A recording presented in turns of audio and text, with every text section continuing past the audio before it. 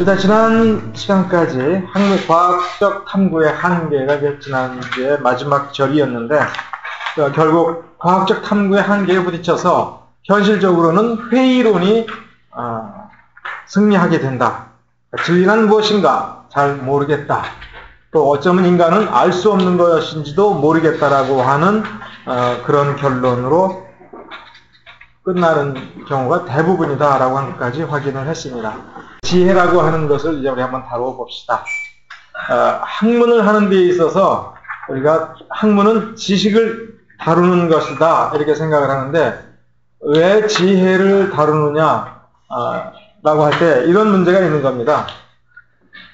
보통 과학으로서의 합리적인 어떤 정밀 과학에 준하는 어, 그런 학문을 하거나 그런 신학을 하고자 하는 사람들은 전통적인 그 신학은 학문이 아니고 지식의 문제를 다루지 않고 어, 신앙을 다룬다. 그래서 여러분이 아마 신학교에 입학하자마자 사람들은 아마 이런 도식을 그려주었을 겁니다.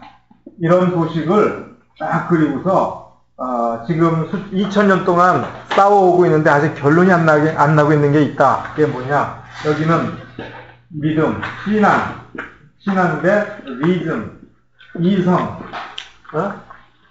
그래서 어? 려운 말로 하면 믿어야 아느냐, 알기 위해 믿느냐, 뭐 이런 식으로 또 음? 알아야 믿느냐, 어? 이렇게 어, 대립적인 구도를 제시하죠. 많이 봤죠? 네. 음, 그때 여러분은 뭐라고 대답을 했습니까? 어? 이제 한번 궁금하네요. 여러분 이런 아, 도전을 받을 때 뭐라고 생각을 했습니까? 그러니까 신학을 학, 과학 사이언스다 혹은 체계적인 지식을 아, 잘 정리한 학문이다라고 얘기하면은 보통 어디로 가고 있는 거냐면 리즌으로 가는 듯 갈 수밖에 없다 이렇게 생각하면서 결국은 나중에 대부분의 그 리버럴하고 비평학적인 신학을 하는 사람, 철학적 신학을 하는 사람들은 아, 믿음과 이성, 그 다음에 신앙과 신학은 별개의 것이다라는 쪽으로 갑니다. 왜냐하면 신앙에서는 예를 들어서 그 논리적으로 설명할 수 없는 것, 뭐 도성, 성육신이나 뭐 삼위일체뿐만 아니라 뭐 고고학적으로 참 입증하기 어려운 아직 증거가 나타나지 않은 것도 무조건 믿으라. 어? 믿어야 뭐가 좀 이루어진다 이런 식으로 얘기하는데 이쪽에서는 믿을 수 없는 이유들을 너무나 많이 발견하게 되기 때문에 어, 그냥 믿음은 교회 가서 그냥 별도로 갖는 거고 구원의 신앙은 있지만 학문으로서는 거기에 입각해서는 할 수 없다라는 그 구도를 많이 제시하잖아요. 네, 여러분은 대체적으로 어떻게 생각합니까? 무슨 생각이 들었냐고요? 어? 이거 택한다고 제가 믿음 없는 것들이구나. 이렇게 생각할까봐 걱정하지 마시고. 왜 그러냐면, 제가 답을 얘기할게요. 이거 자체가 논리적으로 잘못된 겁니다. 그러니까 지금 그거를, 요거를 그 기초서부터 이게 왜 구도가 잘못되었는가를 설명하려고 이 지혜라고 하는 섹션을 제시를 하는 겁니다. 여기에서 reason이 지식의 문제라면, 어, 이 믿음은 지혜다라고 하는 것. 왜 그러냐면, 지혜라고 하는 것은 통찰력으로 보통 얘기하는 거거든요. 통찰력, insight. 그러니까 뭐냐면 그 좀 나중에 나오지만 지식이라고 하는 것, 학문이라고 하는 것은 우리 서양에서의 일반적인 근대에서의 인식은 뭐냐면 어, 물체나 대상이 있으면 어떤 현상이 있으면 이거를 논리적으로 명제화하고 분석하고 하나하나 과학적 증거를 찾아서 어떤 어, 누구도 부인 못하는 결론에 도달하는 건데 지혜라고 하는 것은 일단 그 논리적 추론을 건너뛰고 딱 보는 순간 아 이건 좋은 거, 이건 나쁜 거 이제 이렇게 생각하는 거죠. 그러면은 믿음은 어디하고 통하는 거냐 하면 분석이 아니라 통찰력으로 통하는 거죠. 딱 보니까 야이 사람 믿음이 있어. 딱 보니까 어이 이 사람 아주 하나님을 영광스럽게 할 사람 같아. 자는 꼭 믿어야 돼. 그럼 왠지 그 말이 진짜 같고 그래서 우리가 그걸 카리스마 이렇게 하는데 근데 아무도 거기 가서 증거가 뭐요? 나보고 큰일 할 사람이라고 얘기하시는데 증거가 뭐요? 논리적으로 증명해 보시오. 어떤 목사님한테 그렇게 말하는 사람 없지 않습니까? 그러면서 이런 도식을 제시하는 사람들은 어, 믿음은 통찰력에 가까운 거다. 그런 점에서 어, 어, 이게 학적이 아닌 거라고 얘기를 하는데 과연 그러면 도대체 지혜라는 것이 뭐고 어, 왜냐면 이 믿음의 기초는 그런 게 있으니까 그걸 따져보자 네, 이거죠. 라틴어로 이 지혜라는 말은 라틴어로 사페르에서 나왔습니다. 그것은 맛을 보고 시험해 보는 것을 가리켰습니다. 어원적으로. 따라서 맛보고 시험해 보는 거는 뭐냐면 머리로 생각, 분석을 해 보는 게 아니에요. 그러니까 지혜라고 하는 것은 경험을 많이 쌓아두다 보면 그 다음에 이제 안 해봐도 아는 거 이런 쪽으로 가는 거죠. 그러면 사페르라고 하는 말은 어떤 경험을 많이 쌓아서 이제 그 정도 수준에 결과적으로 어디에 도달했다가 아니라 뭐가 중요한 것 쪽으로 이게 뉘앙스가 가냐면 일단 많이 해보는 거예요.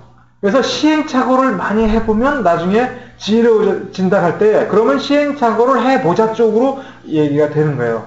그럼 지혜를 얻는 건 시행착오를 해본다는 거.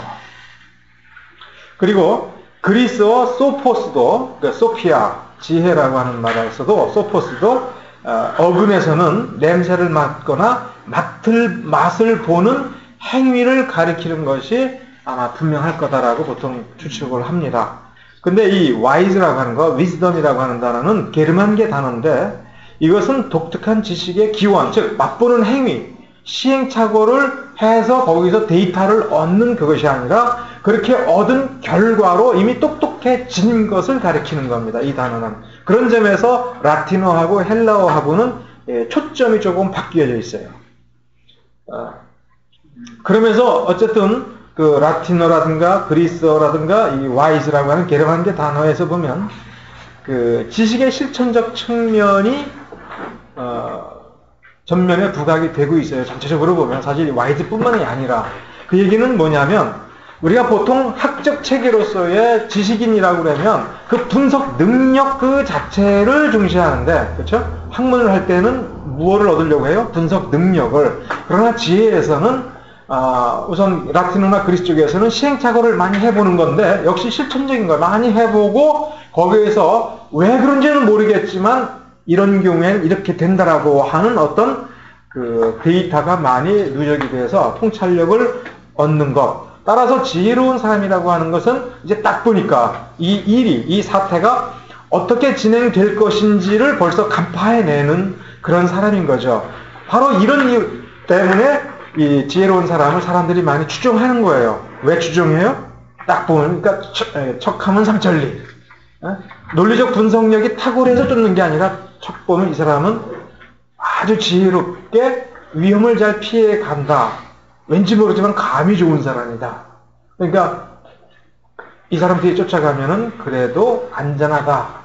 라고 해서 쫓아다닐 때 그 사람을 보통 지혜로운 사람이다. 이렇게 얘기를 합니다.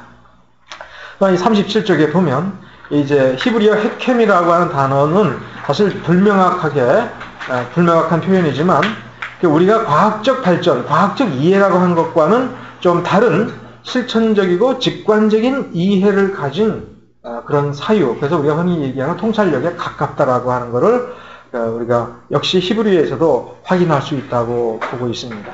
따라서 지혜는 지성적, 지적 추리력과는 관련이 없고 직접적으로 실체를 붙잡고 그 실체로부터 어, 전개하고 그 실체에 입각하여 즉각적으로 어떤 결론을 이끌어내는 것을 지혜라고 얘기합니다. 다시 말하면 우리 식으로 얘기하면 통찰력 혹은 도통했다라고 할 때의 그 도의 경지가 이 지혜라고 하는 것입니다. 따라서 지혜의 특성을 다시 보면 그, 그 능력을 부여하는 어떤 통찰력의 그 통찰력을 은밀히 가졌다는 것. 어, 은밀하고, 은밀하겠다고 하는 것은 어떤 명시적으로 그 통찰력을 계산해내는 과정을 보여주지 않고 혹은 그 출, 왜 그렇게 생각하느냐에 대한 근거를 굳이 대지 않고 어느 틈엔가 보니까 가진 것이 드러난 거예요. 그러면서 그 지, 혜라고 하는 것을, 이 통찰력을 그 당사자가 임의로 사용하는 어떤 특징이 있습니다. 그런데 과학적 분석이라고 하는 것과 비교해 보면 좀 이해가 분명한데, 과학적 분석은 예를 들어서 1 더하기 1은 2다. 3 더하기 4는 몇이에요? 5인가? 아니, 7하고, 아, 7이 아니라 9하고 싶은데, 아무리 주체자가, 당사자가 마음대로 휘두르고 싶어도 이 과학적 분석은 그 자체의 공식에 사람이, 그 공식이 주인이에요. 그러니까 사람은 기계적으로 따라갈 수밖에 없어요. 쉽게 말하면 기차에 올라탔습니다. 그럼 기차가 가는 대로 몸을 맡기는 수밖에 없어요. 그러나 지혜는 쉽게 말하면 기차가 아니라 기관사인 셈이에요. 자기가 브레이크 밟으면 쓰는 거예요. 그왜 썼냐? 이유를 대라. 아, 쓰는 게 좋을 것 같아서. 왠지 위험할 것 같아서. 그, 뭐, 그 근거가 뭐냐? 근거는 없는데, 내가 30년 동안 몰아보니까, 어째 요, 요때 비가 많이 오고, 요때 저기 혹시 모르니까 한번 내려서 확인해 봐야 된다. 그러니까, 어, 30년 무사고 운전자가 어, 외진기를 운전할 때에 자기 나름대로 결, 판단을 임의로 할 수 있다는 말이에요. 이런 특성이 있는 겁니다. 이게 과학적 지식과하고는 아주 다른 겁니다. 그리고 또한 지혜의 특성 가운데는 과학적 분야, 이 학문적 분야에서 두각을 나타냈다고 해서 그 지혜가 출중하다고 얘기하지는 않습니다. 오히려 과학적으로 어, 과학적 분야에서 두각을 나타내는 것은 학문적 기술, 통계라든가 이 공식을 그다음에 법칙을 다루는 기교가 탁월하다는 것을 의미하지. 그래서 이 그 서울대 공학 박사 같은 사람들 얘기해 보면 아주 단순하잖아요. 아주 단순하고 누가 금방 어, 속여 먹을 수가 있고 그래서 알잖아요. 많이 사기 당한다는 거. 그러니까 전형적으로 사기를 많이 당하는 사람이 누굽니까? 에, 공무원으로 정년퇴직한 사람. 응? 근데 그 사람들이 어리석은 사람들이 아니에요. 자기 분야에서는 탁월하게 성공하는데 나중에 보면 퇴직금 사기당하고 그 다음에 공학 박사들 쑥맥이라고 얘기하지 않습니까? 그러니까 그런 사람들을 지혜롭다고 하지 않습니다. 그리고 이 지혜가 있게 된다면은 지혜, 이 통찰력을 있게 된다면은 그 지혜라고 하는 지식이 문제가 아니라 지혜로운 사람이 되기 때문에 어, 떤 전혀 다른 사람이 알지 못하는 상황에 부딪혀도 나름대로 해결책을 찾아내는 사람이에요. 그러니까 지식이 있는 사람은 어떤 문제가 발생하면 과거의 데이터에서 이런 문제에는 이런 지식이 필요하다 해서 그걸 찾아서 창고에서 꺼내다가 거기다가 고장난 부품에다가 갈아 끼는 것처럼 그 정도의 역할밖에 못하는 겁니다. 그러니까 예를 들어서 신학도 이게 학문으로서만 해버리면은 어, 예를 들어서 마태복음 설교는 이렇게 하는 거다 배워 그렇게만 한다 이거요. 그럼 평생 마태복음은 똑같이 그 설교밖에 못해요. 그러면 그 사람 보고 예를 들어서 창세기 설교해 보죠 그러면 전 마태복음밖에 모르는데요. 그러다 보니까 창세기나 구약 설교는 또 엉터리가 될 수가 있고 또 교회 행정 해 보세요 그러면 저는 예, 신약 성경 신약학이 전공이라 교회 행정 모르는데요. 목회 못한다는 얘기죠. 그러니까 통합적인 인간으로서의 목회자는 예, 지혜로운 사람이라고 하는 종합인이 되어야 될 필요가 있는 거죠. 그렇다면은 그 우리가 이 지식을 뛰어넘어서 이걸 다 필요하지만 이걸 뛰어넘어서 지혜와 신앙의 경지로 가야 될 필요가 있는 거죠. 그러면 지혜의 반대, 지혜의 반대는 자 통찰력의 반대, 지혜의 반대는 뭐냐 이거야. 어리석음이다 이거야. 그러니까 지혜의 반대는 지혜 없음이 아니에요. 빛의 반대말은 뭐예요? 어두움이죠. 아, 따지고 보면 빛이 없어지면 어두워지는 거지만 그 지혜 반대는 그러니까 지혜 없음에서 끝나지 않고 어? 빛이 없으면 그냥 빛이 없는 걸로 끝나지 않고 어둠으로 간단 말이에요. 마찬가지로 어리석음으로 가는 거예요. 반대말은 자 그러면 다시 믿음의 반대말은 뭐예요?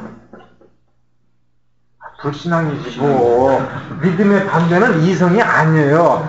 그러니까 거짓말은 이건 내가 여러분을 속인 게 아니라 이 질문을 한 사람들이 여러분을 그동안 속인 거예요.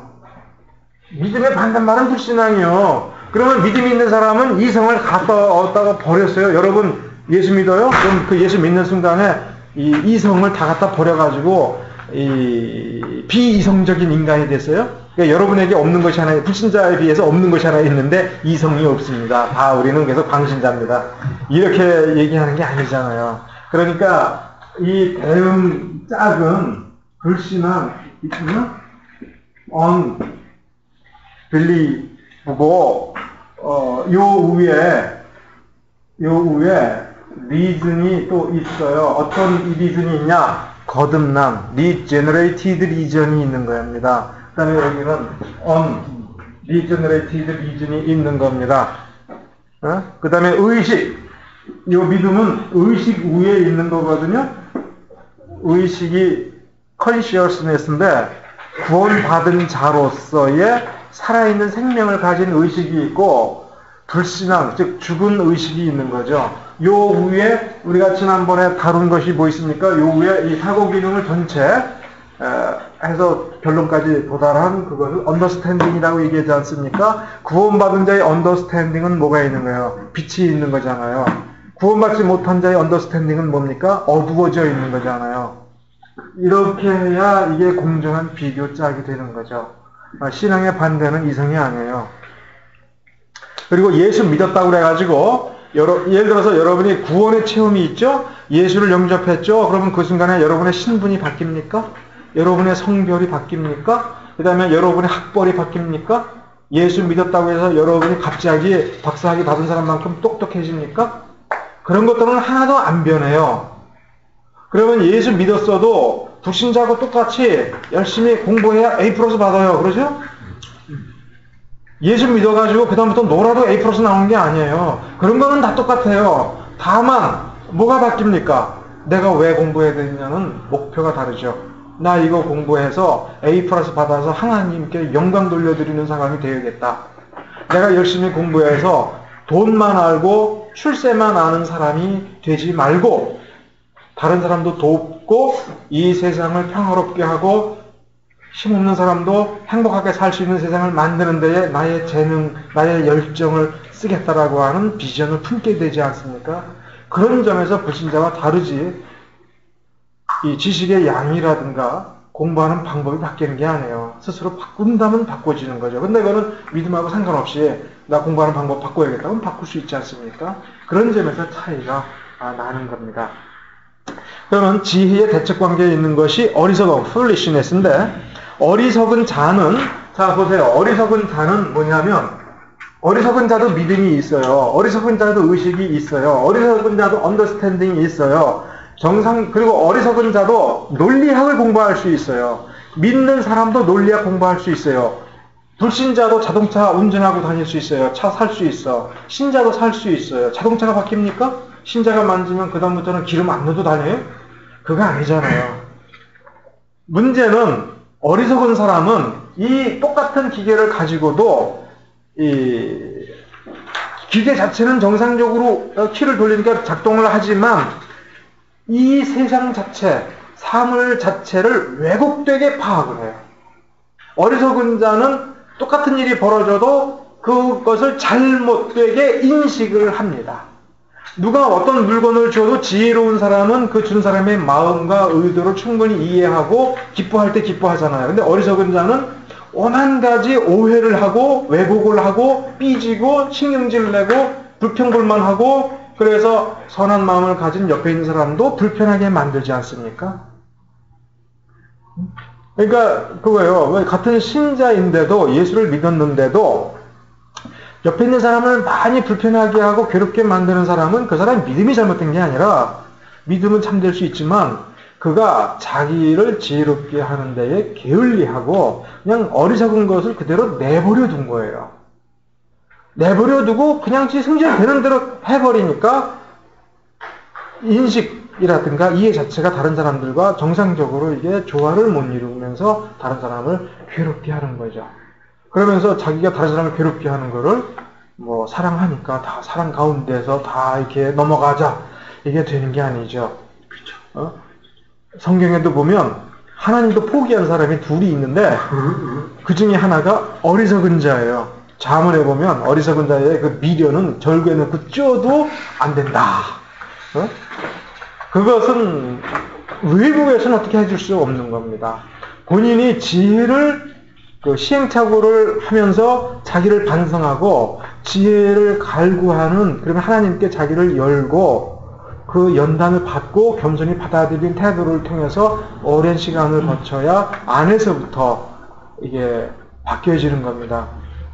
불교도들이 하는 게 뭡니까? 불교도들이 돌을 닦고 이렇게 불교로 뭐 수도하는 게 뭐를 얻으려고 하는 거냐면은 뭐 해탈이나 구원 이게 없어요. 원래 불교는 뭡니까? 무 아닙니까? 그러니까 따지고 보면 불교는 구원이 없는 거예요. 있으면 집착을 하게 되잖아요. 불교의 유명한 선생들이 꼭 하는 말이 있어요. 집착을 버려라.